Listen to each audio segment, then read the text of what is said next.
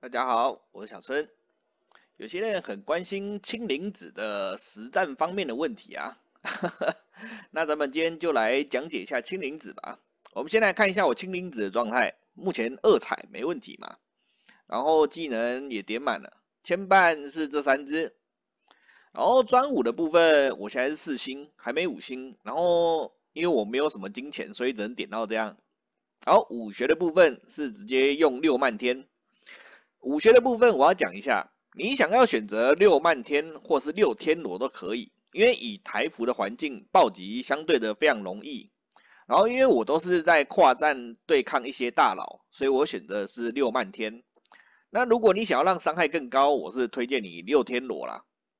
但是如果你是存心要跨站，要打那种抗暴巨高的大佬，那就是推荐你六漫天了。好，然后传功的部分。一重独孤求败，二重杨过加长，三重达摩加剑加力，四重合足道加掌加力加技。好，这个就是他的一到四彩。然后经脉这些应该是见仁见智啊。然后青灵子在有三秘籍之后，他会非常的妖孽啊，因为受到死亡的时候会再发一次技能，这招超级屌的。我是还没买秘籍啊。不过我一定是必买的，我只是在等，有看看有没有许愿树或是金龙啊，然后身心礼包在这。OK，那咱们直接进入精灵子的实战介绍吧。实战介绍，我们就来打我们这个跨区的各位大佬们，然后你们自己看一下，有精灵子的威力如何。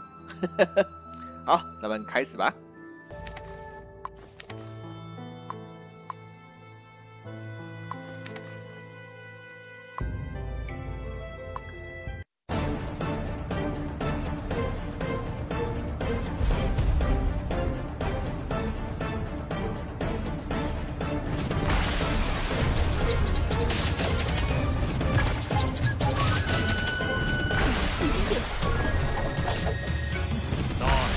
昆仑剑法，独孤九剑，独孤九剑，降龙十八掌，我成英雄。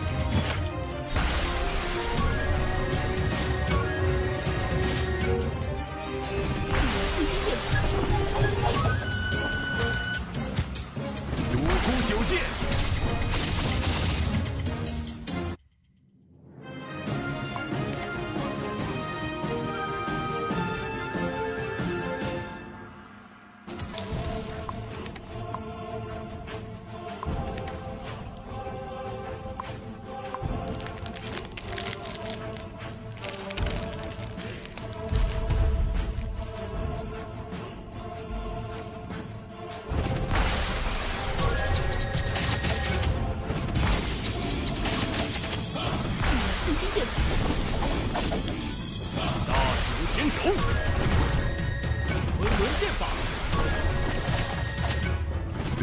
九剑，独孤九剑，独孤九剑，独孤九剑。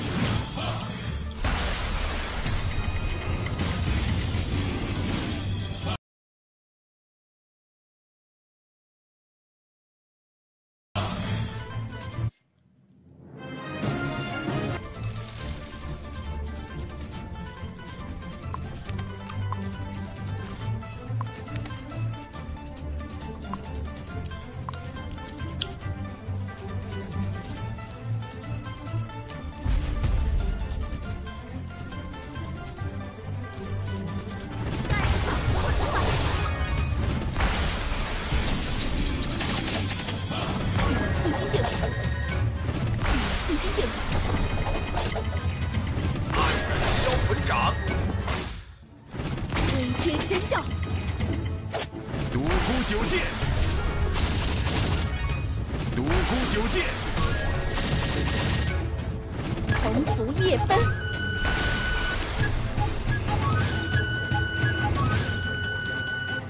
鸿福夜奔，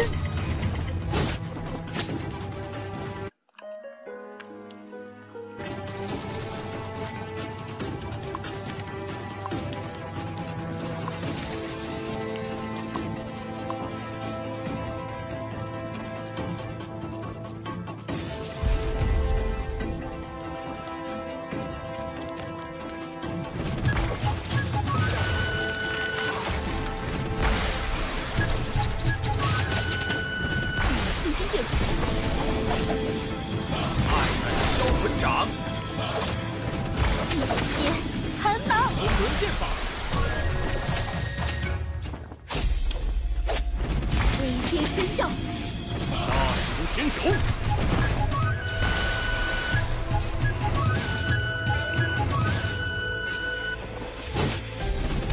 素心剑法，鸿福夜奔，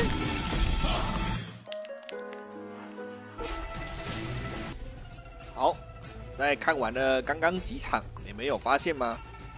只要纯种的舰队遇到这一种祭器组合的龙阳配，你到后期舰队基本上还是干不过的，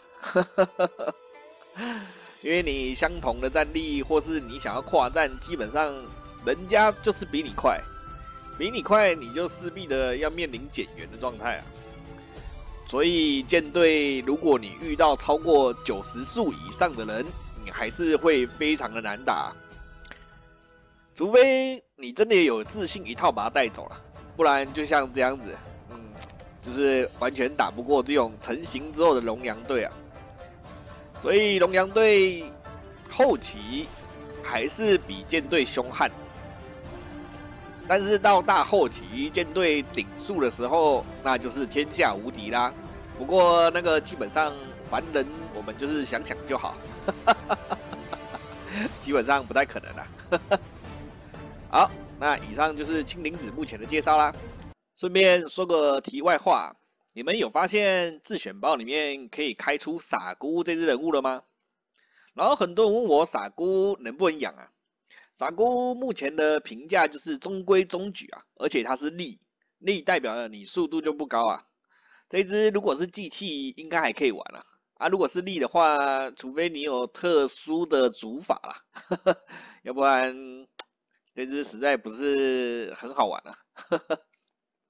然后你们有发现吗？就是视觉的时装出了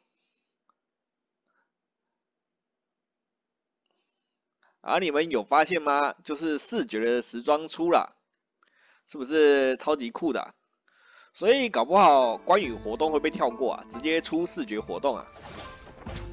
不过出视觉活动也是蛮香的、嘿嘿嘿嘿嘿。蛮好奇他是会出什么活动的反正精灵子来了，关羽来不来无所谓了。那个奥特曼闪边站吧。